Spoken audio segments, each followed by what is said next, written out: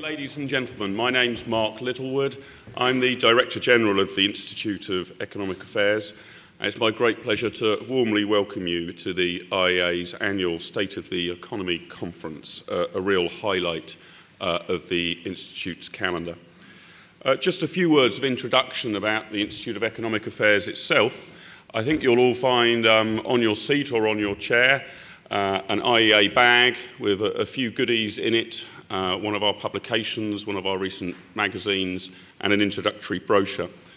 The Institute of Economic Affairs exists to promote uh, the public understanding of the role that free markets play in solving social and economic pro uh, problems. We run an extensive series of events across the year. This is one of uh, our great highlights, of our, as I've already mentioned, but it's one of about 100 events that we run uh, many in association with Marketforce, who have organised this conference today. We also produce a whole range of research papers. We consistently make our case in the media, and we have an extensive student and teacher outreach programme. If you'd like to know more about our activities or be put on our mailing list, please make sure that you drop a business card or a note with your email address on it in the bowl, which is now on the desk where you registered at the outset. Today's event, I hope you will agree, has a fantastic lineup of speakers, and my thanks go out to all of them in advance of what I'm sure is going to be a fascinating series of presentations. I'd also like to make particular mention of Luxembourg Financial Group, our principal sponsors today, whose generosity has enabled us to uh, have so many uh, students here on bursary places and indeed uh, other IEA donors and supporters who've generously contributed to allow us to have students here with us today.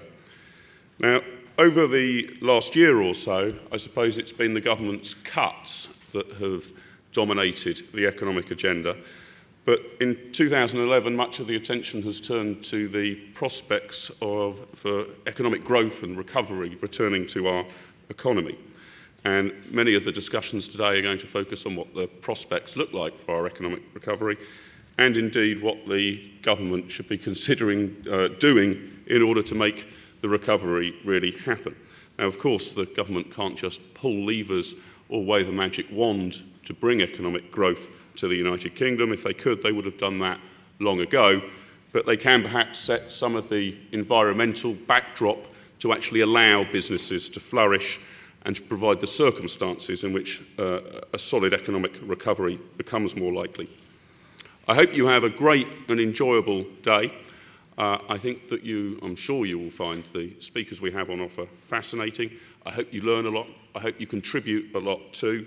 We have plenty of time for questions and engagement. So enjoy yourself uh, and um, I hope you have a fantastic conference. I'd now like to hand over to Sam, who's going to chair our first session. Thank you very much. Good morning, everyone. My name is Sam Fleming. I'm economics editor of The Times, and uh, welcome to our first session, which provides uh, hopefully a, a fascinating whistle stop tour of three major themes in the global economy at the moment, with three of the most prominent people uh, in the field. Uh, first off, we have Andrew Sentance, who's a monetary policy committee member at the Bank of England. Uh, second, Roger Bootle, who's managing director of Capital Economics. And third, we have uh, Jim O'Neill, who's uh, the chairman of Goldman Sachs Asset management. I'm going to go straight, however, to Andrew for his speech. Andrew, as you all know, has become one of Britain's, probably Britain's most prominent interest rate hawk um, over the past uh, few months. Starting from June uh, of last year, he's been fighting a lonely battle uh, for higher interest rates, which was joined uh, in January by Martin Weale, and I think most people would expect more people to be joining him over the coming months. So Andrew will now give us uh, the latest state of play from where he sits.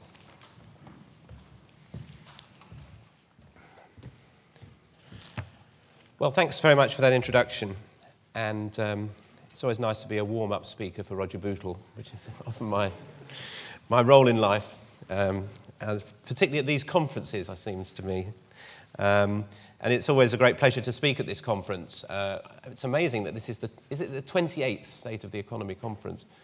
Um, I'm not sure that means it's been running for 28 years. I think there may be some times when there were two a year. Um, but uh, I, I, think I've spoken at this conference going back for about 20 years, so it's good to be back. Um, aficionados of 1970s rock music will maybe recognize a phrase in my title, um, selling England by the pound. I'll come back to that in a minute. Um, but I want to first start off with yesterday's announcements from the Bank of England's latest quarterly inflation report, which showed a very large upward revision in the short term outlook for inflation. Though, despite this, the forecasts published in the report still show inflation coming broadly back to target next year, with the upside and downside risks to the medium term inflation outlook roughly balanced. And that view of inflation prospects underpinned the committee's decision last week that bank rates should be kept at its record low level of 0.5% despite persistently high and rising inflation. Now, in my view, this medium term assessment of the outlook for inflation in the uh, latest inflation report is too optimistic. As both the Governor's letter on Tuesday and the latest inflation report make clear, there are significant differences of view on the MPC at present. And my judgment is that the upside risks to inflation are understated in the published fan charts, and monetary policy would most likely need to be tightened faster and by more than the markets currently expect to bring inflation back to target. Now, you'll not be surprised to hear that I hold these views. Um, as the chairman has said, since last summer, I've been arguing that a gradual tightening of UK monetary policy was needed sooner rather than later. And I also argued um, that delaying policy action in the second half of last year would mean bigger and sharper interest rate rises than eventually uh, would be needed to control inflation. And I'm sad to say um, that this warning is being borne out by events. I think we would be better placed to head off the upside pressures on inflation, which are now apparent, if we had taken earlier policy action. And the risk is that when policy tightening does start, it will be overdue and the MPC will be playing catch up, which is not a good scenario for recovery prospects. Now, in today's speech, I want to highlight why I believe there are bigger upside risks to the medium term inflation outlook than the current uh, inflation report forecast acknowledges. And I want to talk in particular about the inflationary impetus um, provided by the very substantial decline in sterling since 2007 and how that decline should be viewed in the context of the monetary policy issues we now face, hence my title here.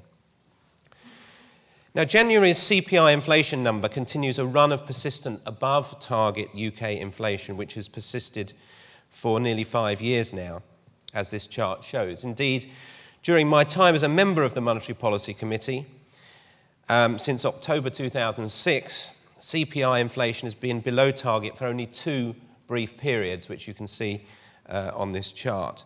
For three months in 2007 and for six months in the second half of 2009. And that's despite the fact that below target inflation has been the medium term central projection in every inflation report forecast since August 2008, which is quite a long time.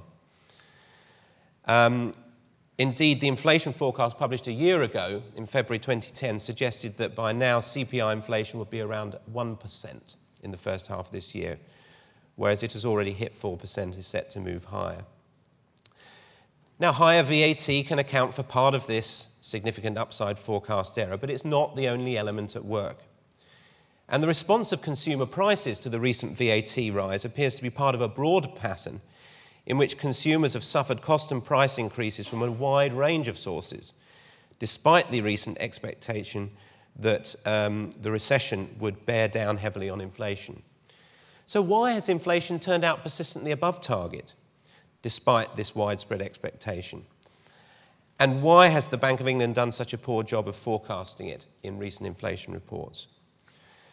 Now, in my view, the answers to these questions are closely related. Inflation has run persistently above target because the upward impetus of global price pressures and the fall in the pound have been much stronger than any downward pressure we have seen from spare capacity in the aftermath of the recession. Similarly, in the bank's inflation forecast, too much faith is being put on a large output gap, pushing down on inflation, and not enough weight has been put on the upward pressure from the global environment and the exchange rate. And this tendency to overweight the downward pull of spare capacity in the UK and underweight the upward impact of external inflationary pressures is behind the big upside forecast errors that have been made over a number of years. And it also underpins the over optimistic assessment of the medium term inflation outlook in the current set of forecasts published yesterday. Now, at the heart of the Bank of England's approach to forecasting inflation and that of many other forecasters is the well known output gap of inflation, output gap model of inflation. While many other factors affect the forecast published in the inflation report, most of these drop out of the projections after a year or so. Longer term inflation expectations are also important, but these are generally assumed to be well anchored around the inflation target. Hence, the assessment of the output gap or the margin of spare capacity tends to dominate the medium term view of inflation published in the bank's inflation report. The output gap model explains deviations in inflation from its target level based on fluctuations of economic growth around its trend or capacity level. According to this view, strong growth puts upward pressure on prices and costs, whereas if growth is weak or the economy moves into recession, spare capacity pushes down on prices and costs. Hence, the persistent forecasts that inflation would fall back towards target and the expectation that it would be pushed below in the aftermath of the recent recession. But as this chart shows, there's been very little sign of this output gap effect at work on inflation through the recession and its aftermath. And there are four reasons why inflation hasn't followed the course predicted by the output gap. And for the same reasons, we should be wary of forecasts that it will do so in the future especially when the recovery is more firmly established and memories of the recession have faded further.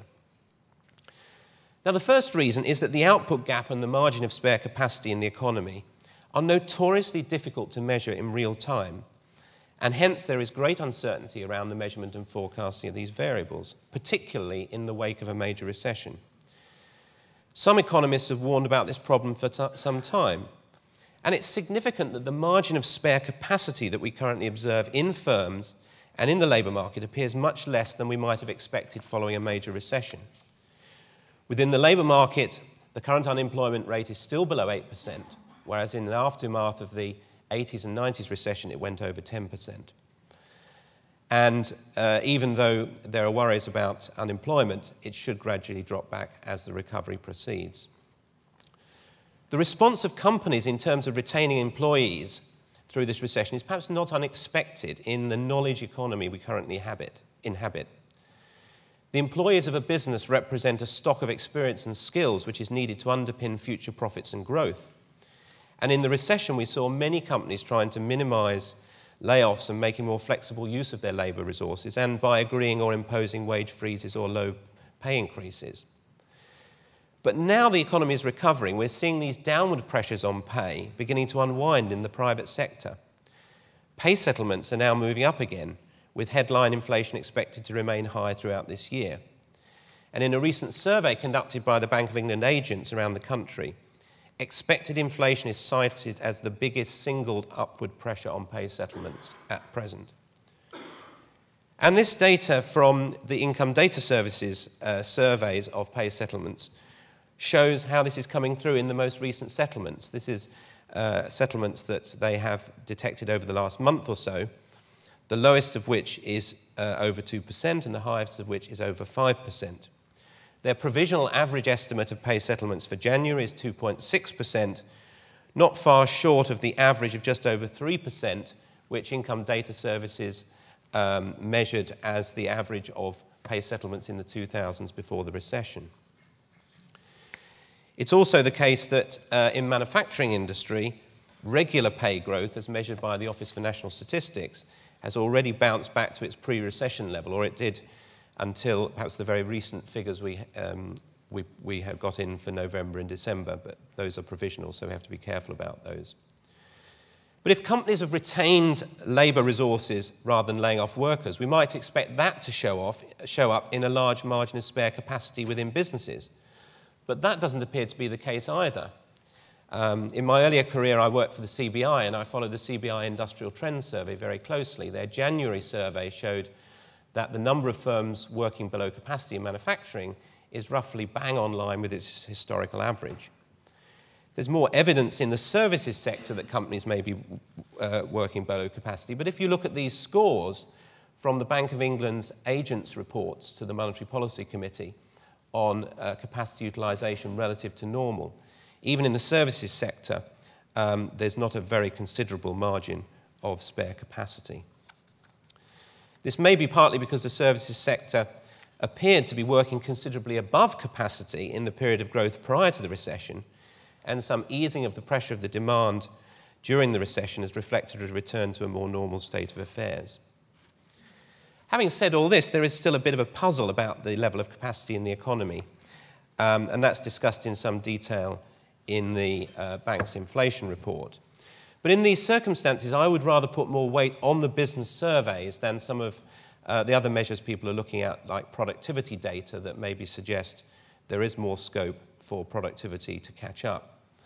The interpretation of recent movements in productivity is also sensitive to the estimate of trend productivity growth, which is notoriously difficult to make in real time. So it's very difficult to measure the amount of spare capacity, and a lot of the measures that we can now observe suggest that the margin of spare capacity in the economy um, is not great. But a second reason why the domestic output gap model has failed to explain UK inflation recently is it embodies an oversimplistic view of demand influences on inflation. Now, I'm a strong believer in the view that the demand climate um, has an important bearing on inflation. But the output gap view of the world focuses on the level of demand relative to some notional capacity level in the domestic economy. And this is only one dimension of the demand picture. In their pricing decisions, businesses will not just be looking at the level of demand, but also at its actual and expected growth rate. And as this chart shows, the growth of domestic demand in the UK economy has bounced back strongly, particularly in nominal terms, where it's up to nearly 7%. And this rebound in the growth of demand in money and real terms will have made it easier for companies to pass through price increases. Looking ahead, though we may see some moderation in demand growth as higher VAT affects consumer spending and public spending restraint kicks in, stronger demand growth over the past year can at least help to account for the recent tendency of inflation to run above target. A third factor which could cause the output gap model to perform badly as a predictor of inflation is a change in the perceptions of business about the pricing climate. And the pricing climate which businesses have faced in the recent recession and during the early phases of the recovery has been very different from their experience of the two previous recessions. And policymakers have sent very different signals to the private sector about price setting. Monetary policy through this recession, by and large, has been highly stimulatory to ward off a sharp decline in demand and potential deflationary pressures. Whereas in the previous recessions, demand, uh, monetary policy was kept tight to bear down on inflation. In this environment, monetary policy was set to accommodate upward price and cost pressures to counter deflation, and this has been very effectively achieved. And the relatively high pass through expected from the recent VAT increase can be seen as an example of this phenomenon. The explicit and implicit signals from UK monetary policy have therefore been operating in the opposite direction to the impact of the output gap, which was, wasn't the case in previous recessions. Businesses appear to have taken a stronger signal from the stimulatory policy and its impact on demand growth and looked through what they might have reasonably have expected to be a temporary shortfall in demand. And the danger of this is, of course, that businesses come to expect higher inflation on an ongoing basis, and the higher rate of inflation becomes deeply ingrained. And there are some worrying signs that this may be indeed happening. In my last speech in January to the European Policy Forum, I drew attention to the leap in the CBI survey measure of price expectations, the biggest single jump in a single survey uh, of manufacturing since 1968 in that price expectation series. Those of you with long memories will remember that that followed the 1967 devaluation. But, however, a more ominous indicator, perhaps, is the rate of inflation in the services sector. As this chart shows, services inflation measured by the CPI has recently been running at around 4% and picked up to 4.1% in January. Having dipped down to about 2.5% in the aftermath of the recession and a VAT cut in 2009, it's back above its average level in the five years prior to the recession, which was about 3.5%. Now, in the early to mid 2000s, as this chart shows, high services inflation was offset by global disinflation in goods prices, which were flat or falling. But we now face the prospect of a much more inflationary climate in the goods sector, driven by strong demand in the global economy and rising oil and commodity prices. And the fact that services inflation continues to be relatively strong despite the impact of the recession is perhaps an indication that companies perceive a benign pricing climate in the domestic market and highlights the risk that pr price expectations in the business sector are not currently consistent with the 2% inflation target. So, to recap what I've said so far, I've highlighted three reasons why the output gap view um, that spare capacity would bear down on inflation might not have operated recently. The limited margin of spare capacity in the economy and the difficulty in measuring it, the rebound in domestic demand growth, and a change in the pricing climate due to the accommodation of price and cost increases to ward off fears of deflation. These are not necessarily short term or one off influences and may well influence the scope for inflation to fall back over the medium term. But probably the most important reason why the simple output gap model of inflation has not been operating as predicted recently is the influence of the international economy on UK inflation. And that's the fourth uh, reason why I think this simple output gap of the world hasn't operated. And in the transmission of global inflationary pressures to the UK economy, changes in the sterling exchange rate play a key role. As the inflation report makes clear, the upward pressure of demand from the global economy and its impact on the price of oil, other commodities, and other globally traded manufactured goods has been a major influence on UK inflation over the past year. But this should not really be a surprise, as it's not a new phenomenon. I've argued in speeches and articles throughout my time on the MPC that the UK is a very international economy and global influences are a major issue for the course of demand and inflation in the UK economy. Just to quote from what I said in my speech last month, the UK economy is sufficiently open to international influences that our inflation outlook can never be purely a product of domestic factors. Properly taking into account the influence of the international economy is the key to the art of successful management of UK monetary policy. And I can't resist putting up this slide again, which I used um, last month, but I also set out in a speech back in 2007 when we were also seeing upward pressures on inflation from the global economy, which highlights the various ways in which the global economy affects the inflation climate and then the various instruments um, which are available or the various influences or channels which are available for monetary policy uh, to, to, counteract those. And uh, I, I, don't have time now to go through this in, in, in detail, but to observe that from the mid 1990s until the mid 2000s, these global influences were generally in a disinflationary direction and allowed the MPC, as I commented earlier, to allow services inflation and domestic pressures to run at the higher level I drew attention to earlier without threatening the inflation target.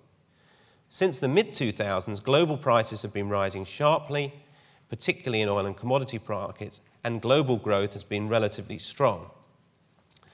We enjoyed a, a, brief respite from high UK inflation in the period of weak global demand in 2009 in the immediate aftermath of the global financial crisis, and that did help to bring down UK inflation at that time. But now normal business is resumed, the oil price is back over $100 a barrel, UK import prices are once again rising sharply, manufacturing input prices are rising at double digit levels, and factory gate prices um, are rising at 4 to 5% per annum. As the latest inflation report makes clear, the MPC has conditioned its forecasts on the basis that this surge in global inflation will quickly subside. This seems to me most unlikely. A key driver behind the upward pressure on prices in global markets has been strong global economic growth, particularly driven by Asia and other emerging markets. About six months ago, there were concerns that global growth may have been faltering with the US economy in a soft patch and some evidence of slowing in Asia. But more recent indicators have been much more positive. Forecasts of future global growth are now being revised up again, with projections of US economic growth in particular being uprated. Now, we'll hear more about this from Jim O'Neill later. Um, but just to draw attention to the fact that the latest IMF forecasts are for 2012 to continue in a period of growth um, as strong as we saw in the mid 2000s. And that was, as I noted before, a period of continued upward pressure uh, in terms of inflation in the global economy. Now, you'll have seen from my earlier slide that the first line of defence for the UK against global inflationary pressures is the value of the pound. The value of sterling can help dampen the impact of imported inflation, as the uh, experience of the Bundesbank in combating the impact of global inflation in the mid 70s showed. A relatively strong or an appreciating currency can provide a windbreak against an inflationary gale blowing in from the world economy. And we see some economies um, beginning to uh, try to engineer an appreciation of the external value of their currencies in this climate for this reason, for example, in Singapore. Now, the UK is not such a small and open economy as Singapore, but we are a much more open economy than the United States or the euro area. And as such, the external value of the pound should have a significant weighting in our assessment of monetary conditions. Now, instead of sterling operating as a windbreak for inflationary pressures, the decline in the external value of, of the pound has reinforced the upward pressure on inflation from global price influences over the past few years. As this chart shows, the sterling effective exchange rate has dropped by around a quarter in terms of its value against the trade weighted basket of currencies. This is a much bigger fall in the external value of the pound than we saw in the early 90s. And that reduction in the value of sterling was reversed after about around five years when we saw the appreciation in 96 97. Now, this next chart shows the recent move in the light blue line against uh, previous episodes of sterling depreciation we've seen over the past 50 years. It shows that the fall in sterling since 2007 is the biggest decline over a two to three year period than we've seen over the past 50 years. Indeed, the recent fall in the external value of the pound between 2007 and 2009 is probably the largest depreciation we have experienced in a relatively short period over the past two centuries, with the exception of the departure from the gold standard in the early 1930s, which saw a, a, a slightly bigger move in the effective exchange rate, but not one actually that's not, that is that dissimilar from the experience we've seen over the last two to three years. Now, some part of this decline is obviously helpful in terms of rebalancing the economy by providing manufacturers and other businesses trading on international markets with a competitive advantage. But in the wake of the inflationary pressures we're currently experiencing from the global economy, there must be a concern that we've let the pound fall much further than this rebalancing requires. In the 1990s rebalancing, when inflation was kept successfully in check as the economy rebalanced, the adjustment in the exchange rate was around 15%, not 25%. As you can see, when the pound corrected in the mid 1980s from its petrocurrency status, the adjustment was much smaller than we've seen since 2007. Indeed, it's perhaps a worry that the only broadly comparable decline in the pound we've seen over half a decade or so since the 1960s was in the period 1972 to 77, which, as you will know, was associated with a period of very poor UK inflation performance. Now, while we're very long way from the double digit inflation rates of that period, the weakness of sterling may still help to reinforce a cycle of rising inflation as it did in the mid 70s. The UK is not sufficiently small and open to overseas trade that we need to make the exchange rate the sole anchor of our monetary policy. That approach didn't work well in the late 80s and early 90s, and we have in general done a much better job of managing the UK economy under our current inflation target regime. But nor can we treat the movement in the exchange rate as a factor which is independent of UK monetary policy. It's one of the key channels through which monetary policy can affect the course of the economy and our inflation rate. The pound fell sharply in 2008 2009 when the predominant worry was the negative impact of weak global demand and global deflation in the UK economy. In these circumstances, there was little reason to worry about the inflationary consequences of the decline in the pound. But the persistence of such a large depreciation and the change in the global climate has significantly shifted the balance of risks. We now find ourselves in a different world, one of relatively strong global demand and global inflationary pressures. And in my view, these upward pressures on global demand and prices are not about to abate quickly and are one of the key reasons why I would expect UK inflation in the medium term to be higher than the latest inflation report. Now, as I have argued since last summer, we face a very different balance of risk to inflation in the medium term from the one we faced in the spring and summer of 2009, when interest rates were cut to a half a percent and the MPC injected 200 billion pounds of money into the economy through quantitative easing. Last July, in a speech, I borrowed a film and album title from Led Zeppelin to highlight my message. For Led Zeppelin, the song remains the same, whether they were playing around the world in the mid 70s or when they were reforming in the O2 Arena just over three years ago. But last summer, I argued that the monetary policy song should not remain the same if the global and domestic economy were playing a different tune. Now, another classic album for, for you rock music aficionados from that golden era of rock music and economic turmoil, I have to say, is Selling England by the Pound, released in 1973. I should have put a, a picture of the album, type, uh, album cover up for you by Genesis.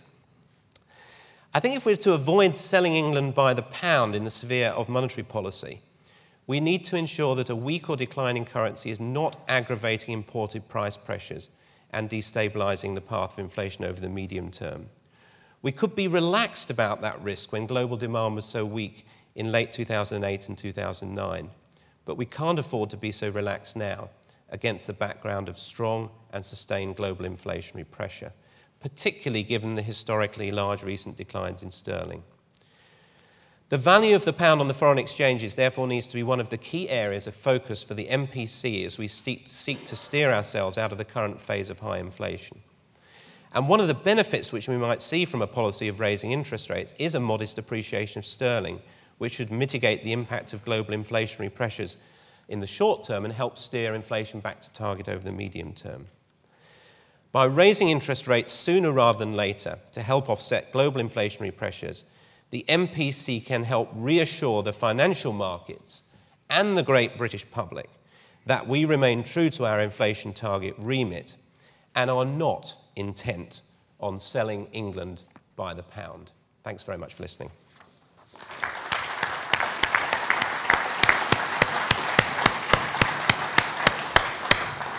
Thanks. Thanks very much, uh, Andrew. I'll throw it open to questions in a minute. Um, I personally very much welcome the use of uh, musical metaphors, given that I'm not particularly a cricket fan, which is what normally peppers Bank of England speeches. Uh, if you look at the, um, the pound over the past few days, one conclusion you could draw is that, the, uh, to borrow another musical metaphor, the markets are a bit dazed and confused by the messages coming out of the Bank of England uh, at the moment. Do you recognise that there is a, a somewhat clouded picture uh, coming out first from the governor's uh, letter on Tuesday and then the inflation report uh, tomorrow, which led to gyrations in the markets as people tried to discern what the bank's uh, attitude is?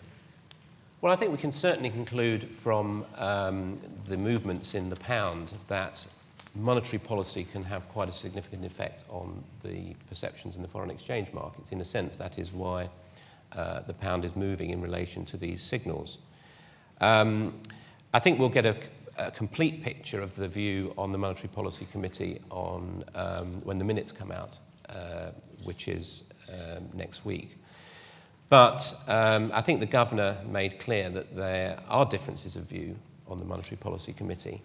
Um, I'm, I'm, not in the, the, business of commenting on the views of, of, of others, uh, but I think I've made my position um, very clear, and I was very pleased to see that Martin Weale joined the, um, the uh, position of supporting a rate rise uh, at, the, at, the, January meeting. And as I've uh, gone through the period in which I've argued this, I feel that the arguments, both in terms of the growth of the economy, particularly the growth of the global economy, and inflation have moved in that direction.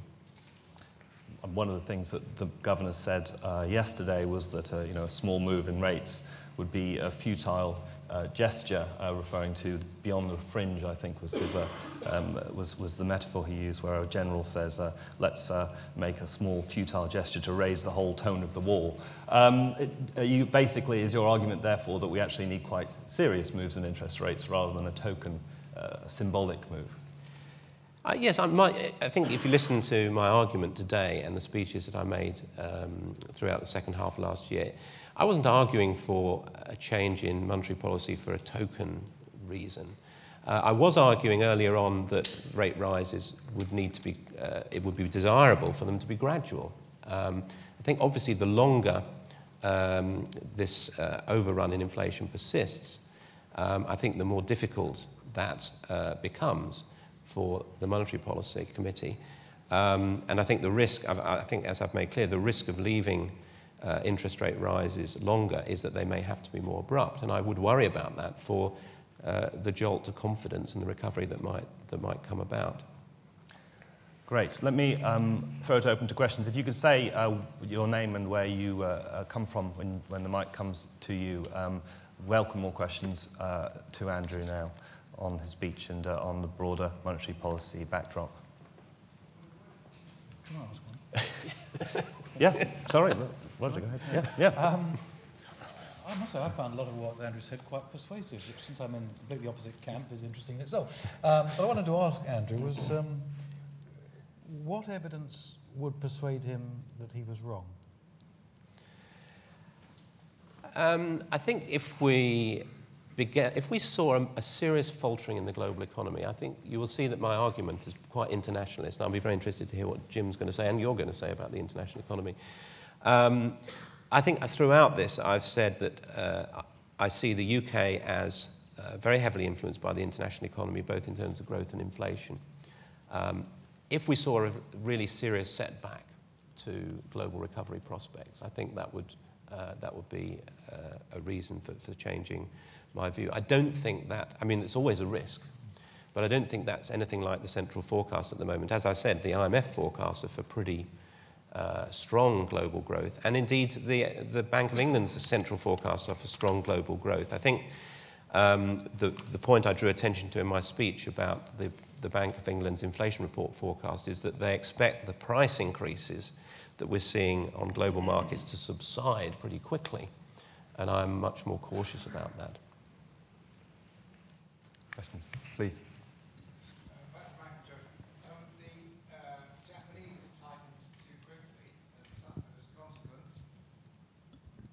Uh, suffered as a consequence. Um, given the observation by Lord Young that we've never had it so good and that people continue to spend their excess income rather than save it um, because of low interest rates, um, are you sure that rising interest rates won't tip us over the other side of the uh, debate?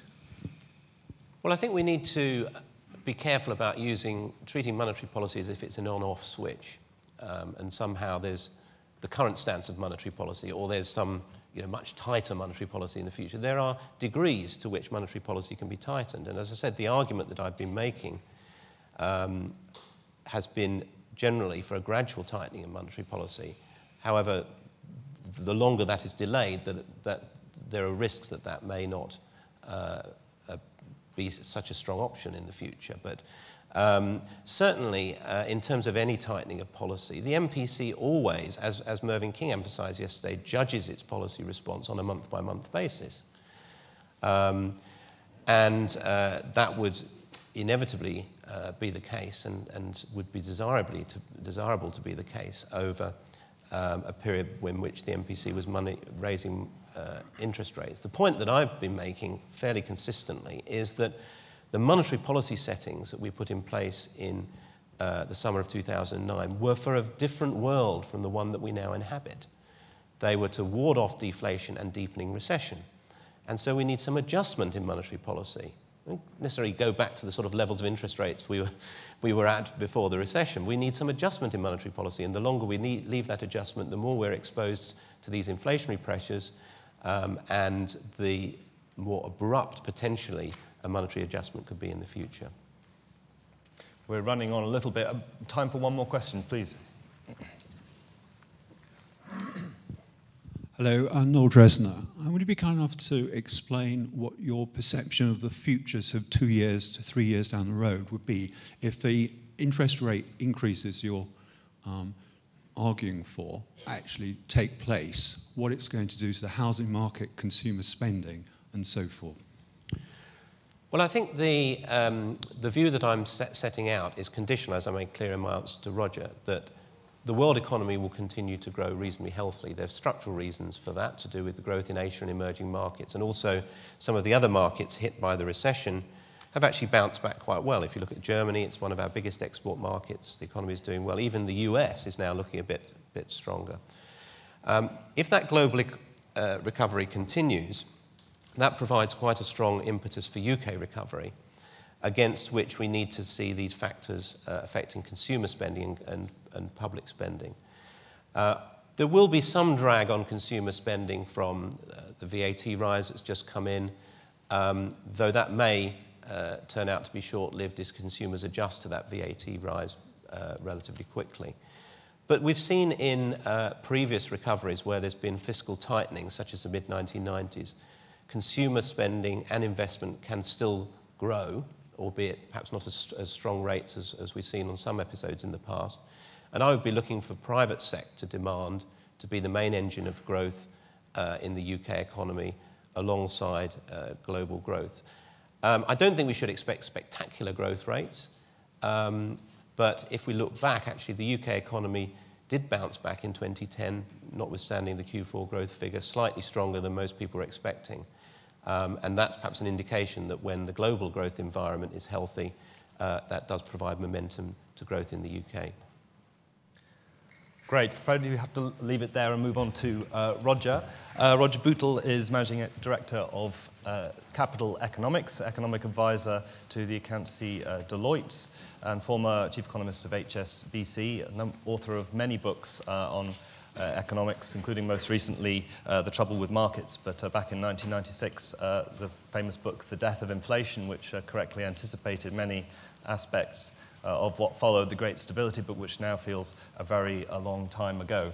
Roger's going to talk to us about the EU outlook for the Eurozone.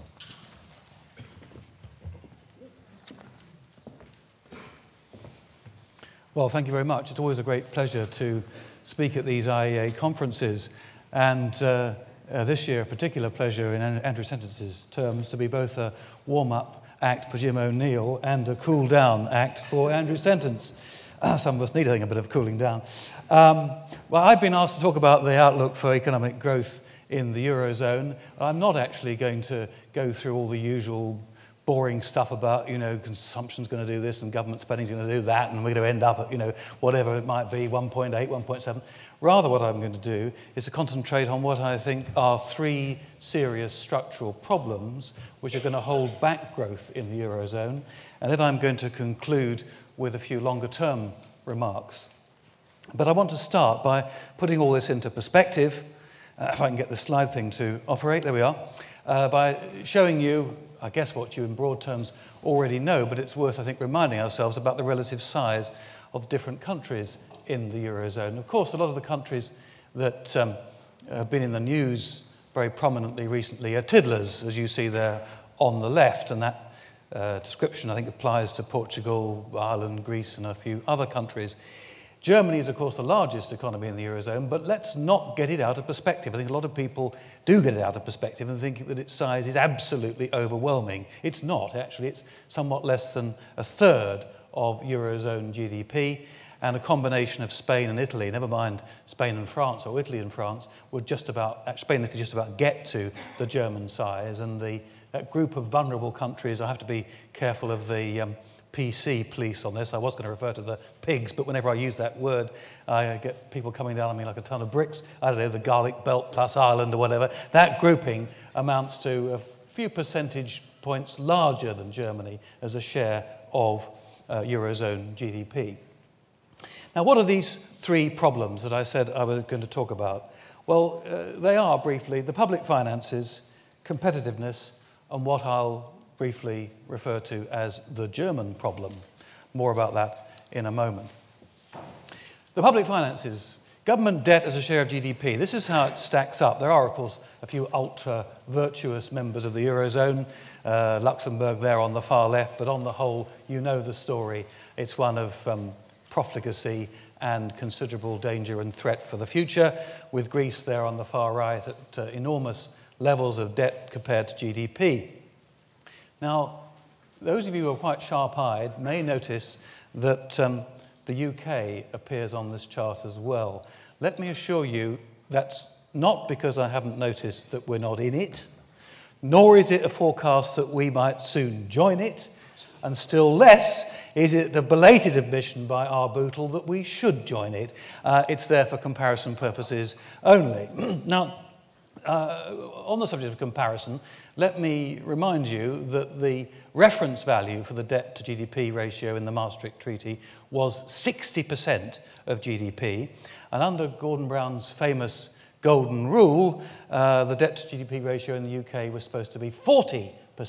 So looking at these numbers, you can see some pretty horrific picture. It's interesting that although Germany and France don't figure very large in discussions of the alarming level of government debt, actually both those countries are themselves pretty high. When it comes to uh, government deficits, I can't usefully draw an honest picture, including Ireland. I've foreshortened it, as you can see, because if I put Ireland on the same scale, you wouldn't see any picture for the other countries uh, uh, at all. It would all be squashed into insignificance. But you're talking here about some horrendous levels of the government deficit. So, what are the implications of all this? Well, there are a number of senses uh, in which I think this fiscal position is going to hold demand back. First of all, there's fiscal tightening, which is going to happen in a number of these countries. Secondly, there's the uh, high level of market interest rates, long term bond rates. Thirdly, there's the effect on confidence. And lastly, there's the danger of default, which will have implications for the banking system as well as confidence and a few other variables. Now, with regard to the size of fiscal tightening, this varies, of course, a lot from country to country, but this is what the uh, European Commission has laid out as the required scale of fiscal tightening in these different countries. And as far as Greece is concerned, there on the far right, you're talking about something uh, of the order of 10% of GDP. This is absolutely enormous, and it knocks our own fiscal tightening into a cocked hat. This is bound to have a significant impact, I think, on the growth of demand in these countries. As far as pressure on markets are concerned, um, let me give you a relative scale of these different countries' requirements from the markets. I'm going to concentrate in my remarks on that grouping. I know, garlic belt, peripheral economies, call them what you will. Um, and as you can see, reflecting what I said at the beginning, a lot of these countries that uh, figure prominently in the discussion are in fact quite small. Portugal, Ireland, Greece, small. And I put in there for comparison another country which has recently come into the spotlight, namely Belgium. And Belgium's a bit bigger than a tiddler, but obviously she's not a big country. but I think the focus on Belgium is very interesting because although the debt numbers for Belgium are horrific, debt to GDP uh, numbers, many of Belgium's other economic statistics aren't actually that concerning. She's got significant overseas assets, for instance. She's not a you know, huge current account deficit country like some of these others.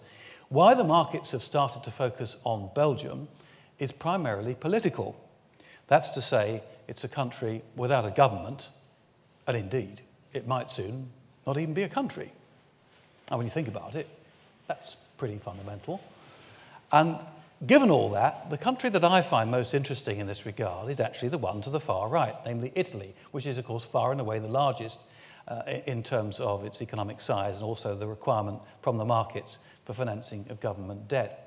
It's the political danger in Italy strikes me as one of the serious things that the market is not yet fully appreciating.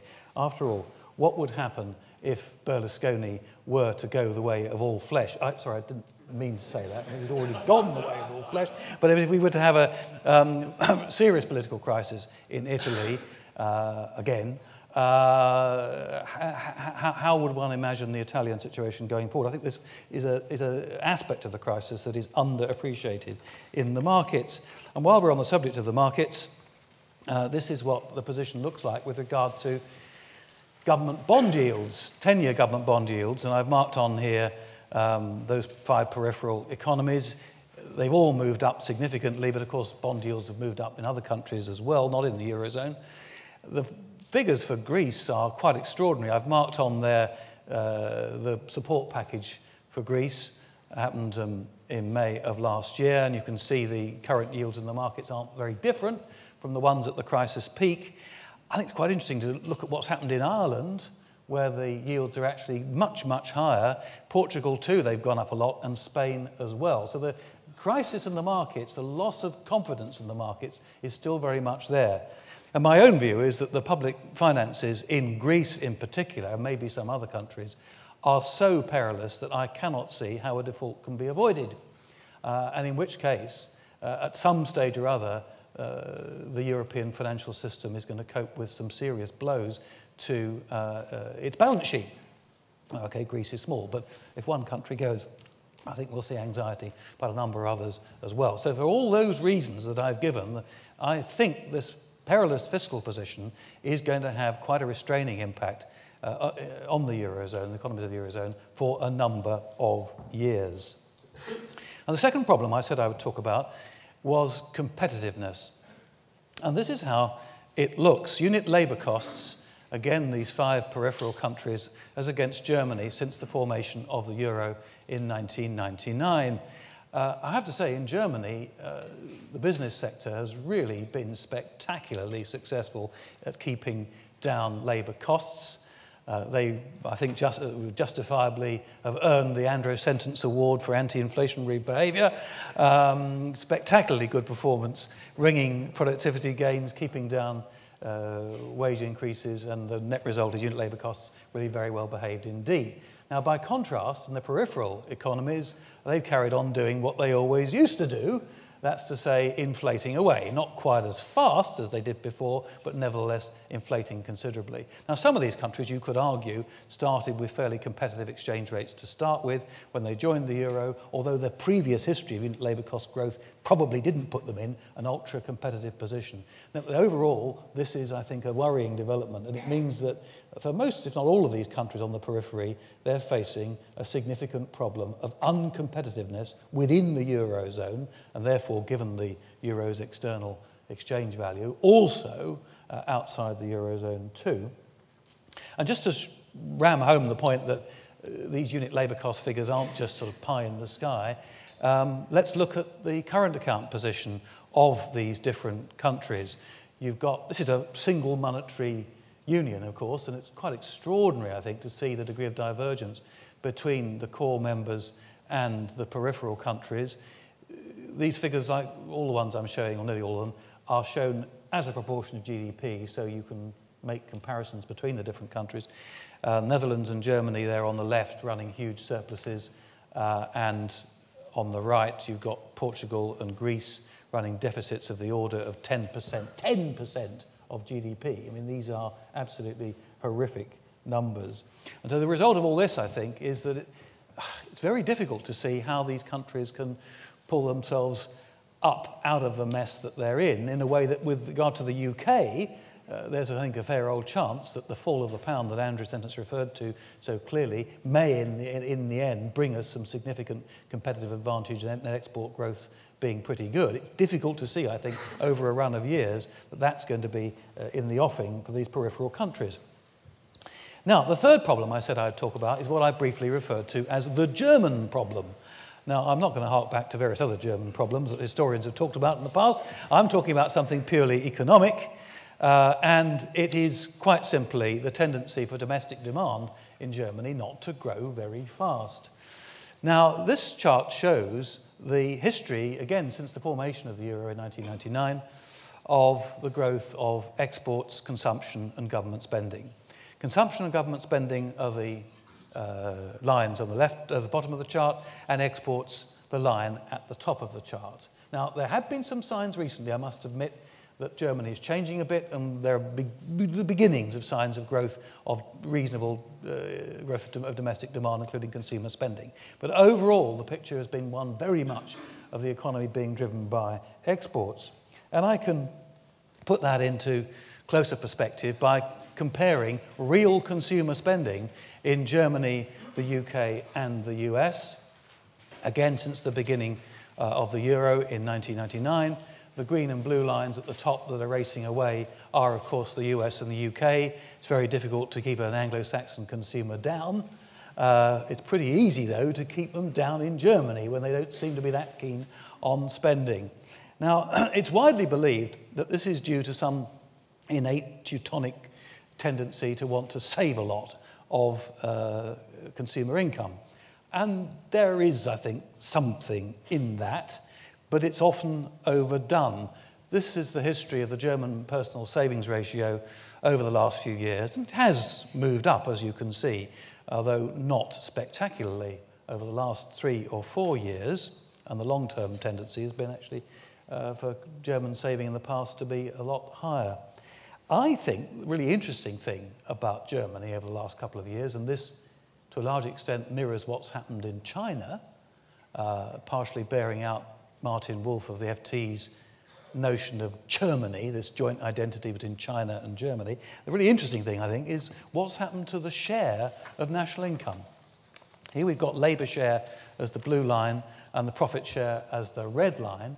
What's happened in Germany is that a larger share of national income has gone to company profits. Again, uh, part of what I was saying earlier on about German business having played a blinder, they've also played a blinder in keeping a substantial amount of the benefit of all this to themselves. Profit share gone up, labour share gone down. So it's not only that the Germans are saving a great deal of their income, slightly more than before, it's also that their incomes have not been growing very fast, despite uh, reasonable German, recent German GDP growth. Now, I've referred to this as the German problem. Why is it a problem? Well, it's a problem more for the rest of the Eurozone than it is for Germany, but it means that it's actually quite difficult for other countries in the Eurozone to post uh, rapid rates of growth when the leading economy uh, in the system is not prone to decent growth of domestic demand. Now, okay, that could change. I say there have been some few encouraging signs recently, but on the balance of history, I'm not convinced. I think we will probably continue to see the growth of German consumption fairly low. And if that is so, uh, it's going to cause problems for the rest of the Eurozone. Okay, so given all that, what is the growth outlook over the next couple of years? Uh, well, first of all, no surprises, I suppose a big difference within the Eurozone. As I said earlier on, Germany does seem to be doing extremely well at the moment, and some of the others, including some tiddlers, aren't doing badly. But at the other end of the spectrum, we've got some simply dreadful, dreadful figures for uh, the peripheral economies, with Greece probably contracting again by about 4% of GDP, Portugal and Spain not by as much as, as that, but nevertheless contracting again, and Italy, as it usually does, struggling on not growing very much at all. But overall, the picture looks grim. And I suspect that growth this year will be weaker than growth last year in the Eurozone, maybe down to around about 1% compared to 1.7% uh, last year. And moving on to 2012, I think a, an outcome not that different, very different between different members of the Eurozone, but in the context of what I've talked about, uh, as being the problems and difficulties, no, I think not much chance of a significant acceleration, and indeed, on our figures, even a deceleration of growth. Now, I said at the beginning that as well as talking about these problems, structural problems, and saying something about the immediate outlook, I would conclude by saying a few words about the longer term outlook, and that's what I'd now like to do. I mean, is there a sense in which the Eurozone is doomed to grow at very low rates for the foreseeable future? Uh, I think the answer is most definitely no.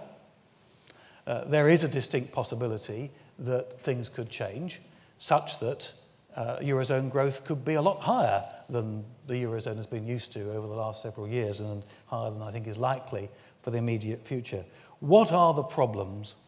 Well, first, I would argue there's a massive problem with regard to the size and role of government in Eurozone economies, interfering too much and in the wrong ways, and taxing too heavily, spending too much and taxing too heavily.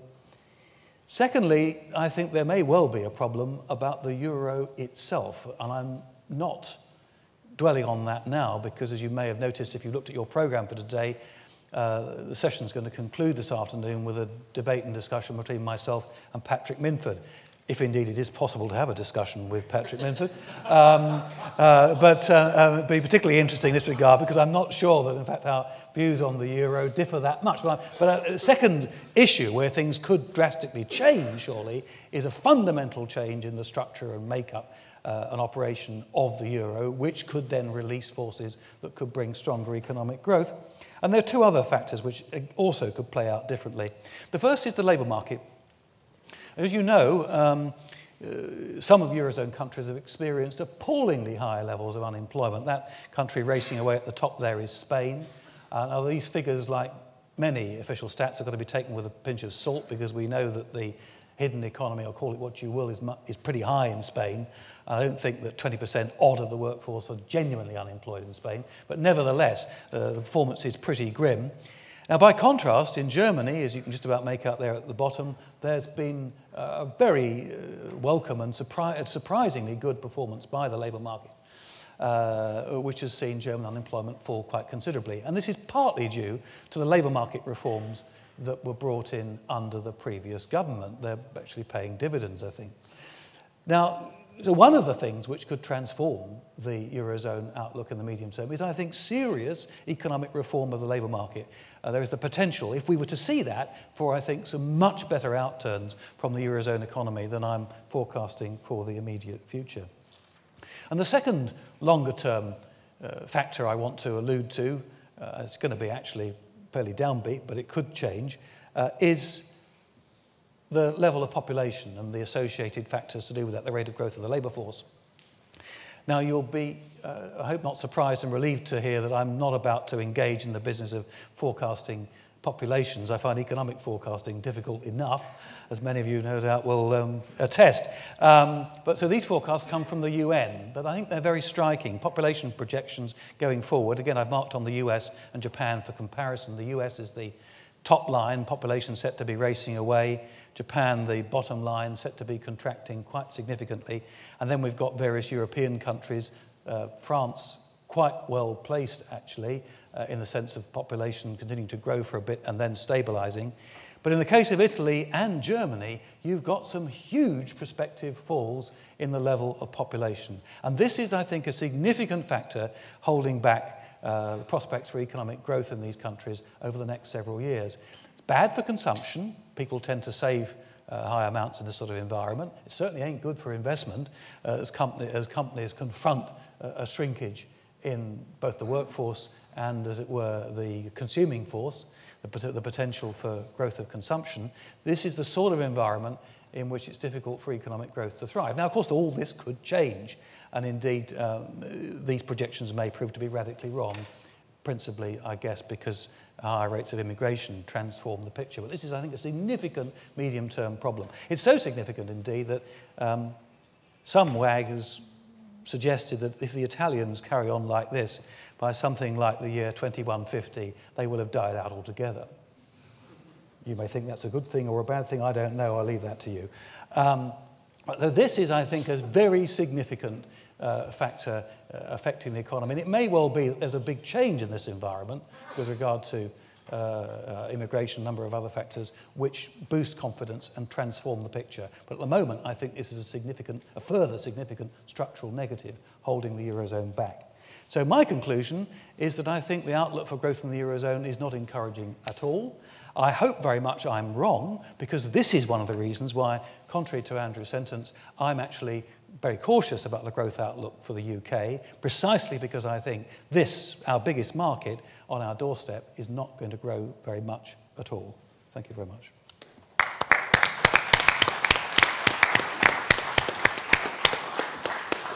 Thanks very much, Roger, for that upbeat uh, conclusion. Um, one, one, on the competitiveness uh, side of things, I was fascinated to see at the end of last year that Fiat admitting that it makes as many cars in one Polish factory as it does in all five of its Italian factories. I think that really underlines the point you're making uh, on the competitiveness of, of, some of the peripheral, uh, if you can call it Italy peripheral, uh, some of the peripheral Eurozone countries. However, we did see, as your, as your chart um, showed, that Germany did sort out its competitiveness problem in quite a serious way. Why are you so much less optimistic about some of the other Eurozone countries and their ability to do the same? Because they're not German. Um, and I think that as I said, our German business, I think, has played a blinder. Interestingly, um, I think the German government has done a pretty good job too under Schroeder. I, I, think it did a pretty sound job of undertaking fundamental and difficult reforms, which I mentioned, the labour market, which have paid off. Now, you know, it may be that under the pressure of the crisis that I think the Eurozone continues to be in, that we'll get similar changes in other countries. But I'm not optimistic, I have to say. Uh, I mean, Italy, for instance, I mean, it's very, very difficult to get anything uh, significant done on the reform front in Italy. Um, Italian growth has been low for a long time and before the formation of the euro. I'm not optimistic about Greece either, managing to, um, to push these things forward. And in the context of these pretty depressed output numbers, I think it's going to be very difficult for, for governments to actually get political support for you know, really, really tough reforms. So yes, it is possible, and it's possible, therefore, that my pessimism will be proved wrong. I, I, I, hope, I hope in many ways that it is. But um, I'm not optimistic.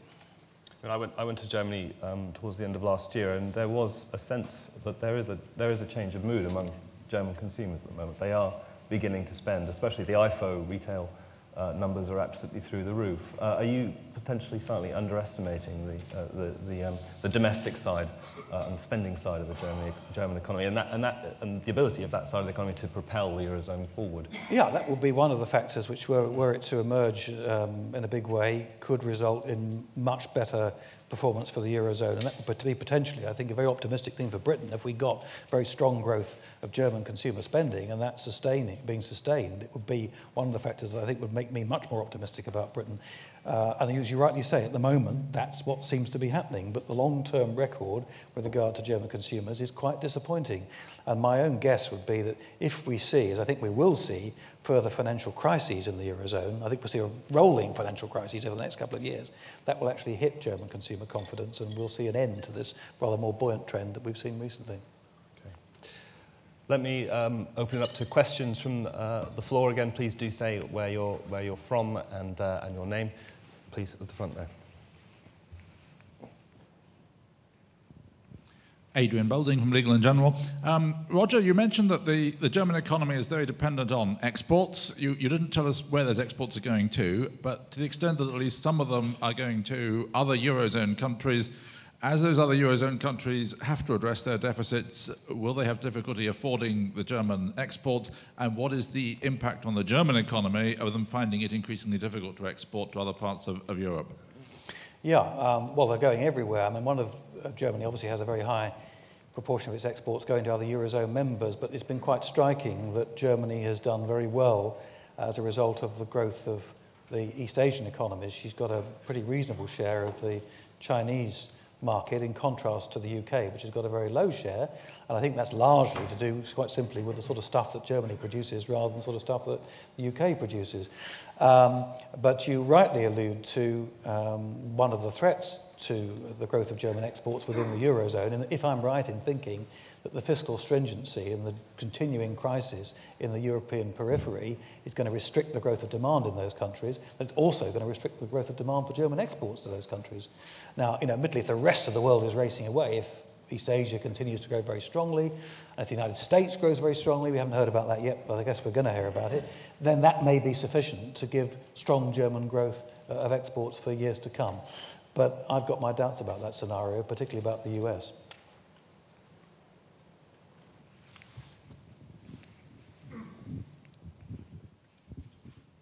Yes, uh, Ben Patterson, CJA Consultants. Um, one of the interesting things about the figures on public finance is the lack of correlation between the size of overall debt and such things as the yield gap. If you take the Italy Spain pair, the yield gap is much the same, whereas Italy has a massive public debt and Spain relatively low. Uh, Belgium, huge, again, not much of a yield gap. Uh, aren't there some factors missing here? Is it to do with the maturity of the debt? Where it's held and all sorts of things like that. And aren't these figures of overall debt then rather misleading?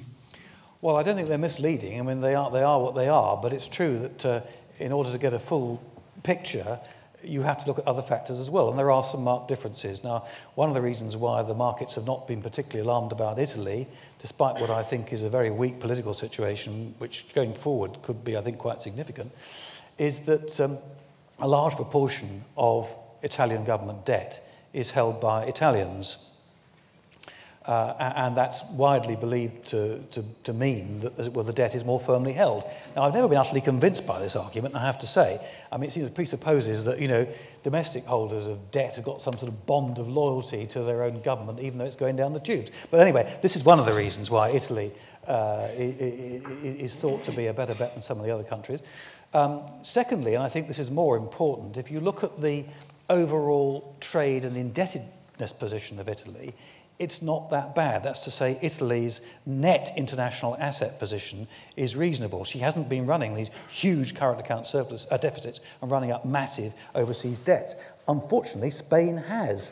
So in Spain, uh, the debt may be relatively low, a fair proportion of it is held outside, and the net international asset position of Spain is extremely weak. She's been running these huge deficits. The other element, which I think is different and quite significant, is the position of the private sector. Now, uh, uh, as you've heard me say, I don't think the Italian economy is um, wonderfully promising for all sorts of reasons, but by and large, it hasn't been through the sort of ridiculous boom that Spain went through, and its financial system, incredibly, seems to be in much better shape.